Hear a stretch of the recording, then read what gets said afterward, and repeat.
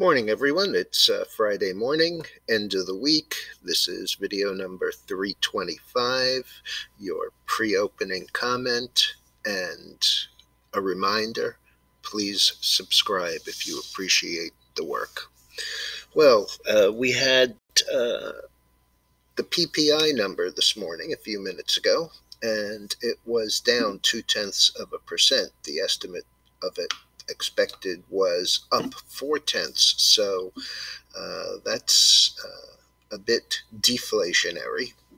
Uh, core, which uh, eliminates food and energy, was also down three tenths of a percent, and they were looking for an up number there. Uh, Asia was a little bit lower, China included, uh, the European markets are up slightly. And uh, we have, as you can see, the oil is again lower. But what I want to point out here is that we have a cross of the 50 day going through the 100 day, and uh, that generally portends a, a pretty decent move, as you can see uh, when after we bottomed, when the five went through the 20, we continued up. When the 20 went through the 50, we continued up. And now we're getting the 50 going through the 100. So, uh, as weak as it is, it tends to be uh, in an area I've been mentioning before of support between 37 and 38. Uh, and I wouldn't be surprised to see it pretty much turn on a dime. Uh, it came down yesterday on increased uh, inventories, which uh, evidently was a surprise. The airlines are exceptionally soft this morning. Uh, Australia is cutting 50% off allowed inbound flights.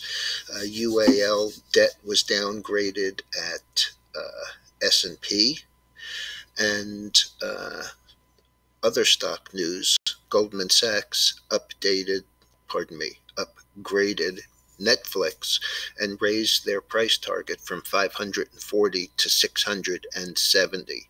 Now, uh, before the uh, PPI came out, the market was down about 180.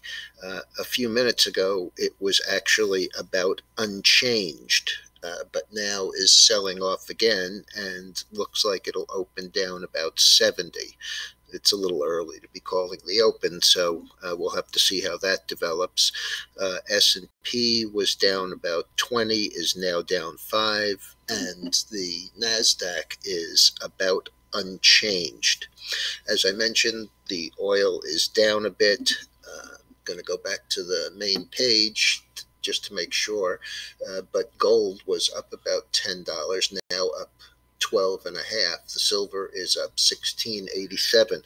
Um, uh, these are decent moves back to the upside after yesterday's decline, uh, and I'm assuming that I probably won't take a new position in the silver. We still are long the gold in uh, Newmont spread, the 6570, out in the August expiration.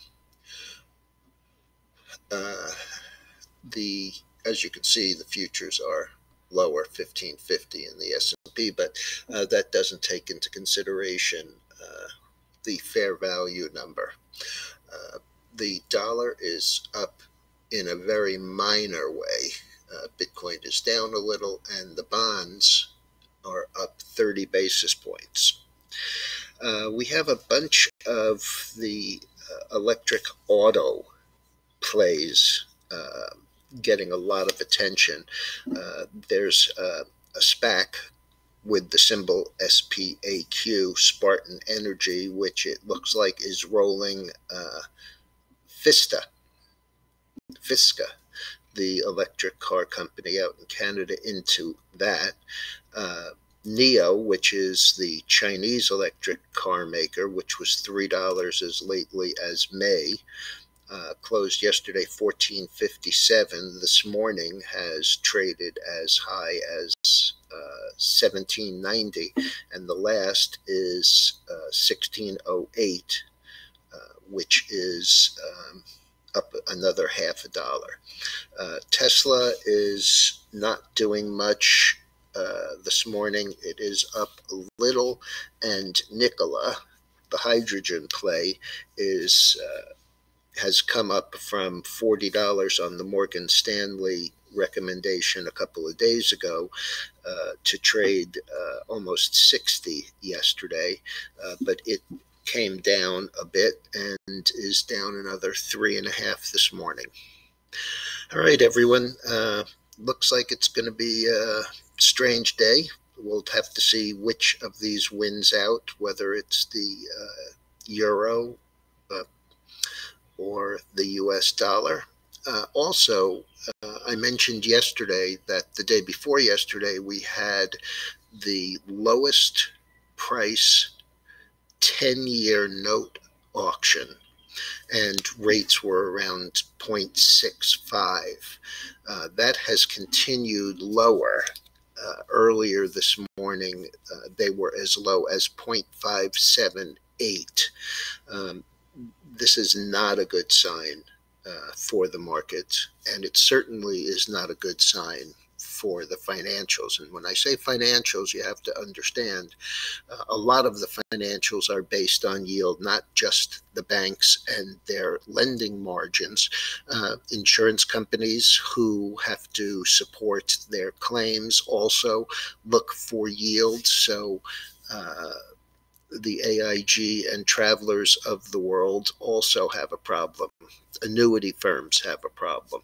Uh, bottom line here is that soft interest rates are a problem. Uh, unfortunately, with the amount of money floating around, uh, you know, if you're not buying uh, stocks, you're really not getting paid for your risk. All right, everyone. Last on the Dow looks like down 50, and I'll be back later if there's anything to say.